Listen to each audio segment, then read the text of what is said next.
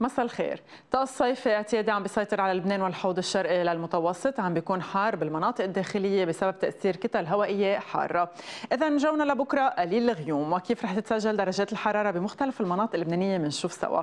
بنبدأ من الشمال وعكار. عم تسجل 33 درجة طرابلس 32 العاصمة بيروت وصورة عم بيسجلوا 31 درجة. ننتقل إلى بعلبك عم تسجل 35 اللقلوق 23 زحلة 33 وجزين 28 درجة. نسبة الرطوبة ساحل عم توصل ل 80%، الرياح السطحية بتتراوح سرعتها بين 10 و 30 كم بالساعة، أما حال البحر فمتوسط ارتفاع الموج. إذا شو الأجواء اللي بانتظارنا للأيام القادمة. للجمعة والسبت جونا قليل الغيوم إلى غائم جزئيا مع ضباب على المرتفعات ودرجات الحرارة ساحلا بتسجل.